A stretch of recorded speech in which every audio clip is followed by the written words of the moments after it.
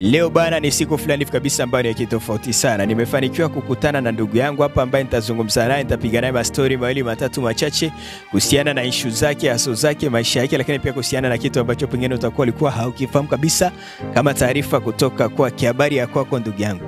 Mzuri, Salama upo? ndio. Mara kwanza kabisa nakutana na wewe, lakini pia ningetamani angalau jitambulishe kwa majina kwa watazamaji wetu hawa. Kwa majina naitwa Mkandama Kaskile.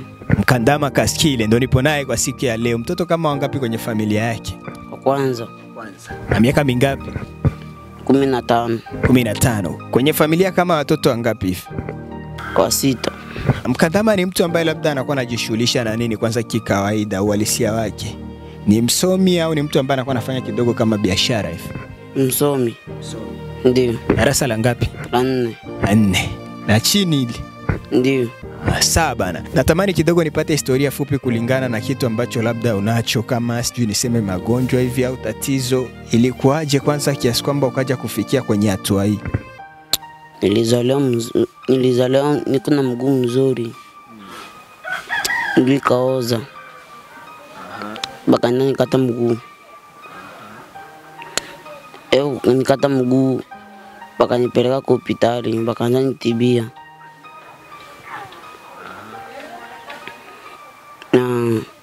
bakaanza nitunza hivyo kunitunza babangu akashukuru Mungu aseme ka- wankawa nitakaye kando kushukuru kando ku Mungu ambariki.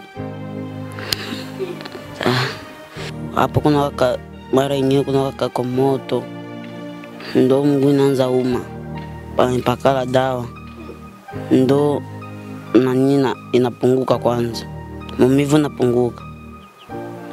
Na hiyo labda inakuwa inatokea siku zote au inakuwa inatokea labda mara moja moja hivi?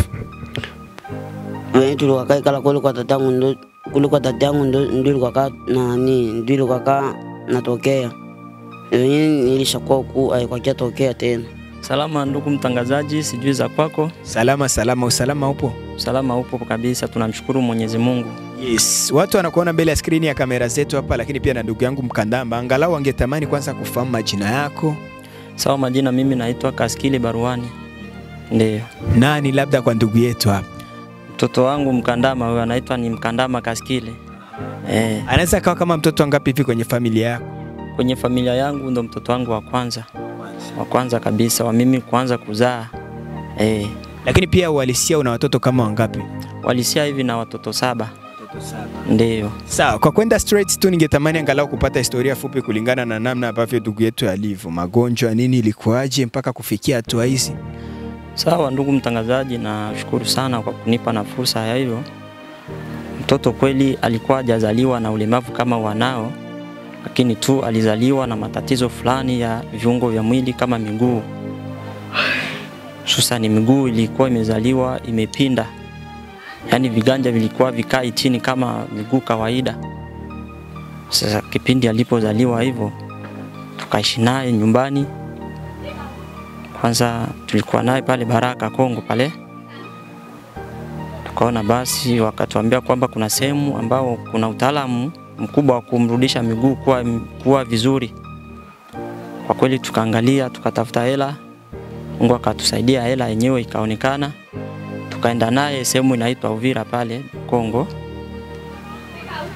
Kipindi tulipoenda naye kweli, mtoto alipata matibabu, akapata matibabu, matibabu yakawa yanaenda naye vizuri ila tu kipindi matibabu alikuwa kwa naenda vizuri, kabidi mtoto wakamfunga vile vimabande vyao vile vina vya kunyosha miguu ili iwe vizuri. Sasa kipindi walipombana zile bande, kumbe walibana sana zile bande hadi damu zenyewe zinakosa hata namna gani ya kupita kwenye viungo, kwa sababu miguu yote ilikuwa imebanwa zile bandi zao zile. Sasa kipindi walipozibana kuona hali ya mtoto kweli ilikuwa inaenda vizuri, lakini sasa kuangalia viungo vya miguu hali ilikuwa inaenda vizuri, ndugu mtangazaji. Sasa tuka tulikuwa karibia kitu cha mwezi hivi mtoto anapata matibabu hayo, lakini sasa bahati mbaya miguu ilikuwa imeoza.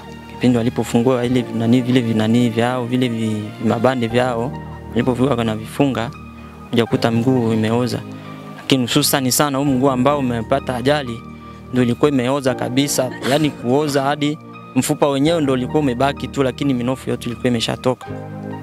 Akasema hapana, hapa mmeniharibia mtoto, nimekuja na mtoto yuko vizuri tu, nakuja apate matibabu, lakini bahati mbaya Mungu atasaidia, ila tu naomba kwanza hivi gisi mtoto alivyo wai, japokuwa anaweza akaoza viungo, lakini amebaki wai. Sasa tukawa na magomvi nao na marumbano nao kipindi mimi nipo hospitalini, hadi nikafika serikalini kustaki, maana wameniharibia mtoto. Sasa tufanyeje? Wale kwa sababu walikuwa nataka sasa wamtoe mguu wote, nikasema hapana, nimekuja na mtoto miguu miwili imeenea, afu nimrudishe nyumbani mguu mmoja umebaki huko? Hapana, mwangalie namna gani ya kumtosha hata kile kiungo ambacho kitakuwa kimeharibika sana. Na kwa kweli kuangalia pande za mguu wa chini vidole ndio vilikuwa vimeashirika sana, ina maana vilikuwa vimeshageuka weusi kabisa, damu ilikuwa ipiti.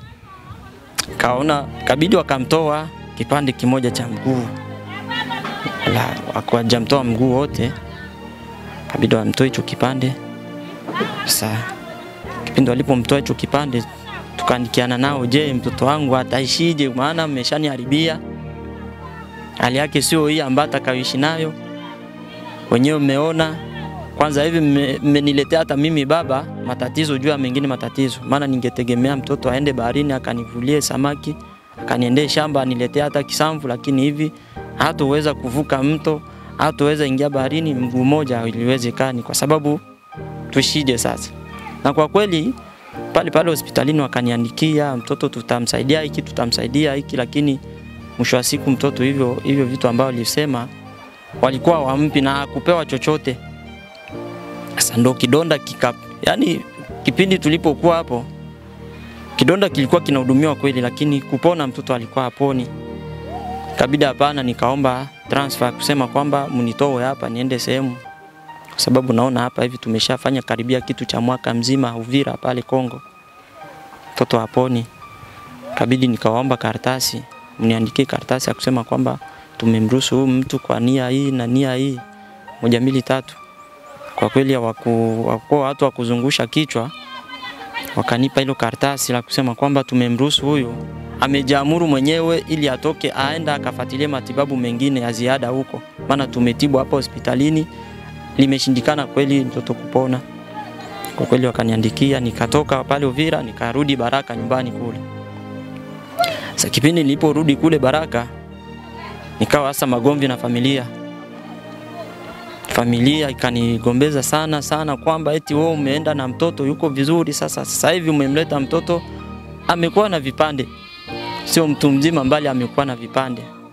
Na kwa kweli marumbano mimi na familia ilikuwa nyingi tu nyingi, na hadi sasa hivi kipindi unapofika hapa, ndugu mtangazaji, hadi sasa hivi mtoto anaga tena na na ule uhalisia sana wa kuwa na familia pamoja. Hata mimi baba yake sina uhalisia sana wa kuwa na familia pamoja, maana kwa kweli kama ni kosa nilikosa, lakini tulijadiliana na familia kwa kusema kwamba tu angalau tutunzishe mtoto, labda anaweza akawa vizuri, lakini bahati mbaya Mungu haku hakutujalia kwamba ya mtoto awe vibaya. Basi hali kama hii unavyoiona, ndugu mtangazaji, sasa kipindi tulipoenda huko nyumbani kwetu, mtoto kweli akawa mafitilia matibabu mengine ya kiasili.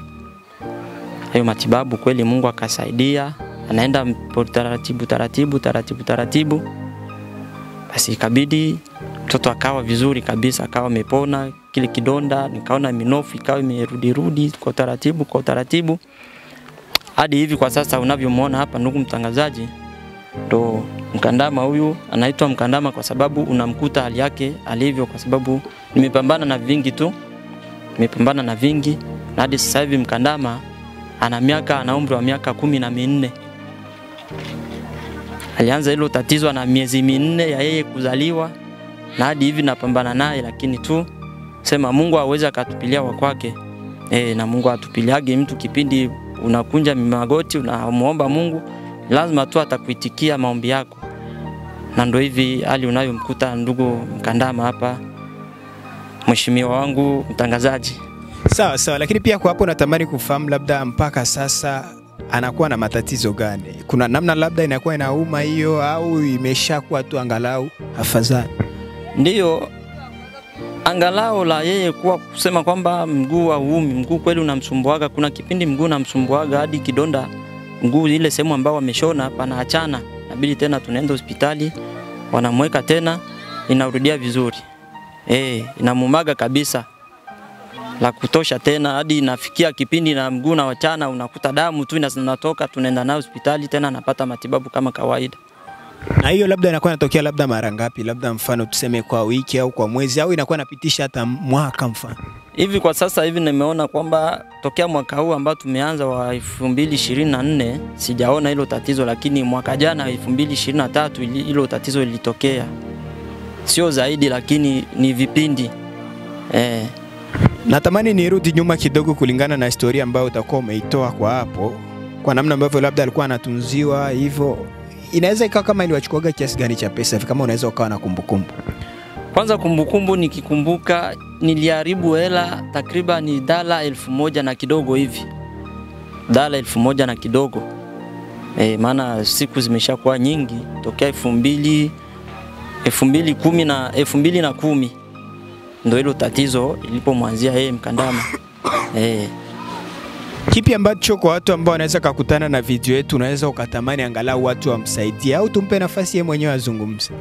Nimgeomba kwanza mumpe nafasi kwanza yeye mwenyewe azungumze, maana mimi nimeshatoa historia yake, lakini ningeomba yeye kwanza atamani aongee vitu ambavyo anaweza kasaidia na wale wa watu ambao watakaotazama hii video azungumze kwanza, na mengine mimi naweza nikaongezea.